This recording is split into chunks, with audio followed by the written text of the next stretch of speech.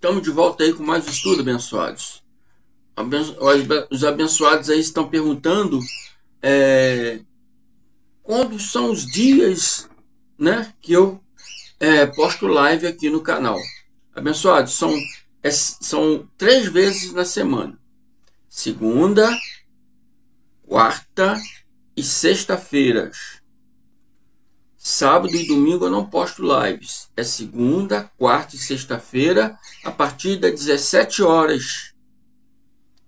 Sábado eu boto reprise. Sábado eu boto vídeos né, já passados, vídeos já antigos, né? E peço a vocês que assistam também, que talvez vocês ainda não tenham visto.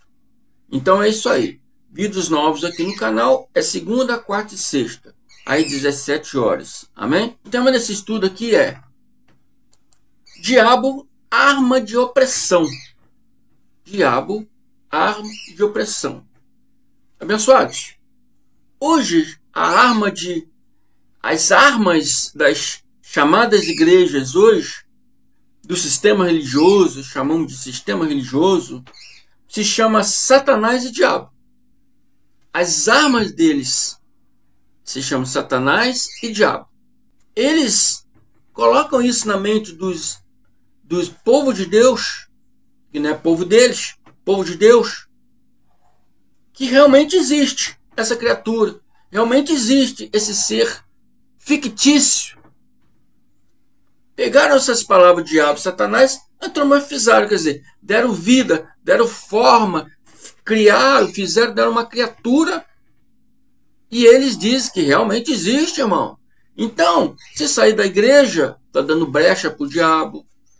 Se refutar o pastor, está dando brecha para o diabo. Né? Se vocês não pagar seus dízimos, suas ofertas, estão dando brecha para o diabo. O devorador, que é um gafanhoto, mas eles falam que é diabo, vai entrar na sua casa, na sua finança.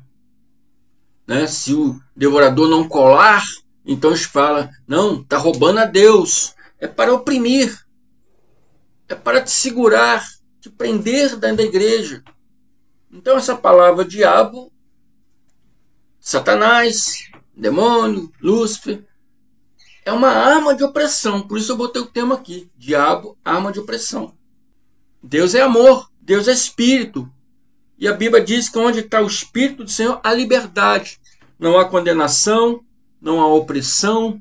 Tem que ter liberdade. Se tem Espírito de Deus aí, tem que ter liberdade.